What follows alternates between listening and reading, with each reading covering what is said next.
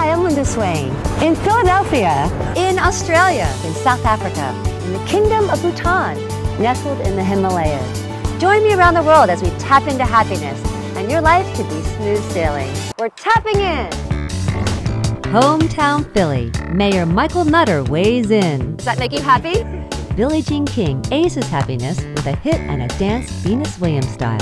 Who are these feathered people? We'll open that door. A Philadelphia connection to ancient history. And former Governor Ed Rendell taps into happiness. I'm tapping in.